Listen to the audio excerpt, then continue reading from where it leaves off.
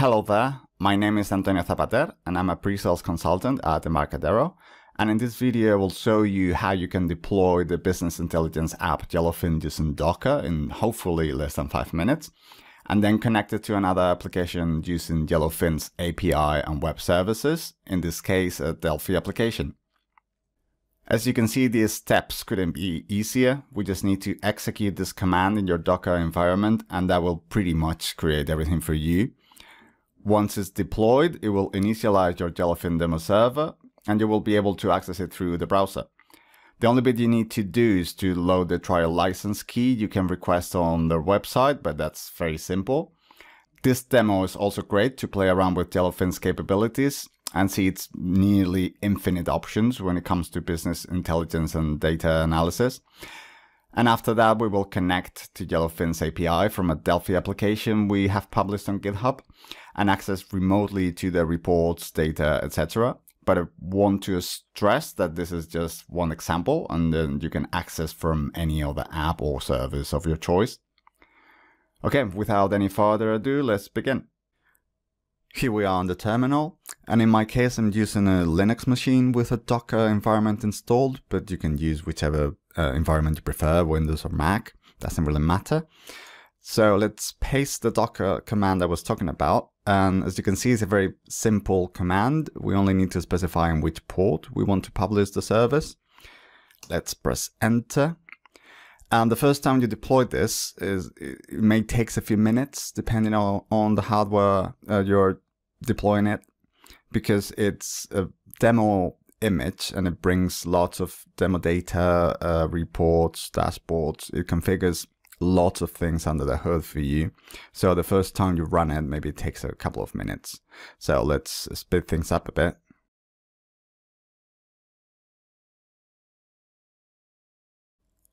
Okay, the system has started. Now to verify that everything is working, we need to open a browser and access the IP where we have Docker and the port we chose to deploy the service in in my case this IP and the port 9999 and we have access. Now what we need to do is to copy and paste the default user and password. You can find this in the blog post in the link down below.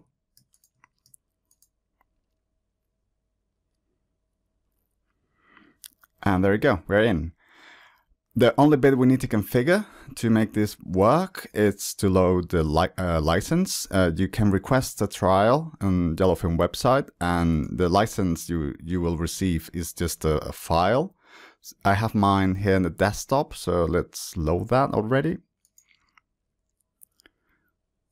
There you go. We press preview and we see all the uh, info that comes with the license, summit, and there you go, the license is loaded. To verify that everything works, we can come here to the burger menu, come to, for example, my dashboards, and come to this one. Uh, also, I want to point out that this is a very good way to, to know more about Yellowfin and the possibilities that it brings, because all the options are here available for you during the trial uh, period. And you have plenty uh, of options to, to deep dive in and, and play around with. Okay, now we're coming to RAD Studio. And what we need to do is to clone that um, repository I was talking about before. I have another tab here and we just need to clone the repository. This is going to take just a few seconds. Okay.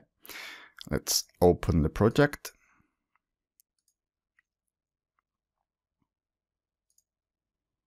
This should be documents, Yellowfin.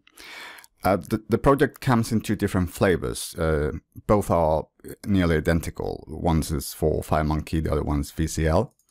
I'm going to open the FireMonkey one.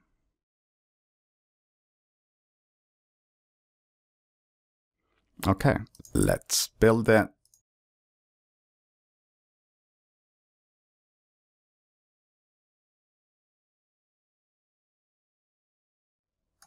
And the first time we run it, the only thing we're going to need to do is to change the base URL where we have our Yellowfin instance. In my case, again, it's the same IP we've accessed through the browser. And it already comes uh, with a default user and password pre-configured. You can change that if you want. And to verify that everything works, we press test. And if it, get, if it gets green, it means that we're connected. The next step, we can come to reports and now it's going to start bring, uh, bringing all the info straight from the Yellowfin instance.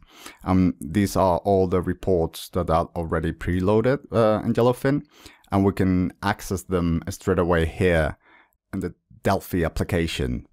Even though I don't want to get into too much detail about how this um, project works, because it's not the purpose of this video, it's just pretty much uh, pulling all the information from the Yellowfin API and converting that to Delphi project. And as you can see here, we have access to filters and you can use favorites as well. And you can have all your information used in a different way within your Delphi application.